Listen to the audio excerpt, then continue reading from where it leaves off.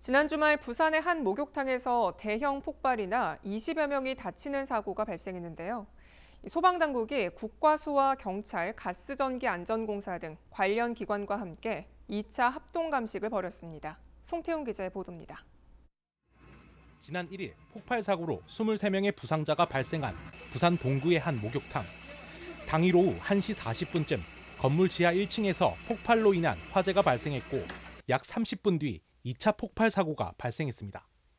뻥 하면서 이제 이게 가스 폭발 같이 불꽃하고 이렇게 이게 저 터졌어요. 주민들하고 이렇게 그 저기 화상을 제가 많이 입은 거로 제가 알고 있습니다.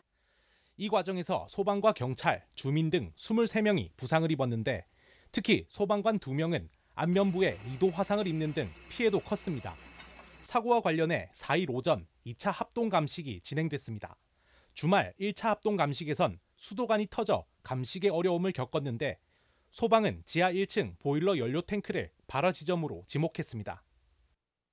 일단 형상으로는 내부에서 그 압력으로 이렇게 부푼 상태고 상판 그 연결 이음부는 그 우측 모서리 부분을 제외하고는 전부 그 연결부가 전부 다 드러나 있는 상태입니다.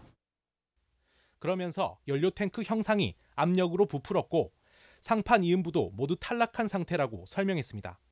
또 소방 당국은 공기 중에 미세 입자로 떠 있는 기름 방울인 유증기가 폭발했을 가능성도 언급하면서 바닥의 잔해를 모두 치워야 추가 조사가 가능하다고 밝혔습니다.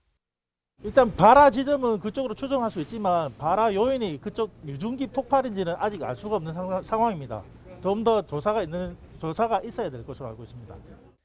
한편 목욕탕 측은 사고 전날에도 자체 점검을 했다며 나흘 전부터 목욕탕의 모든 전원을 내려뒀다고 밝혔습니다. ACCN 뉴스 송태웅입니다.